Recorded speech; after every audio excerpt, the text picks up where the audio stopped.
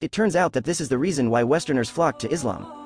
I chose Islam because Islam is the religion of God, containing life instructions which were revealed to his messenger for all mankind. Because for the establishment of human life on this planet Earth two things are needed. First, fulfillment of basic needs along with their resources to ensure survival, and sufficient material needed by individuals and society. Second, know the basic knowledge about the ways of life of individuals and communities, so that justice and peace are guaranteed in society and culture. God has provided both kinds of needs sufficiently for humans. For the first need, God has provided natural resources and handed them over to humans to be explored and processed. And for the second need, namely psychological, spiritual, social and cultural needs, God has chosen and appointed the apostles who were given revelations about the rules of life that can guide humans to follow the straight and true path of life. The rule of life is what is called Islam, the religion brought by all the apostles.